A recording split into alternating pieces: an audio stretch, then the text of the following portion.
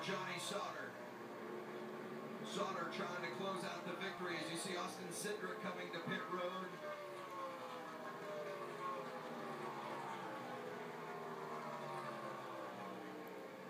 Sauter on his way to his second win of the season. Meanwhile, the final playoff spot between Truex and Rhodes is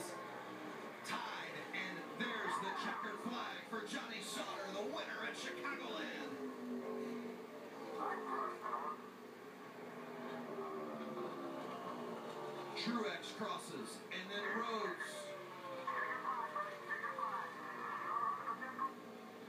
That's Eddie Troconis. I'm not 100% positive, but we think we're in. Eddie's in the same boat I'm in.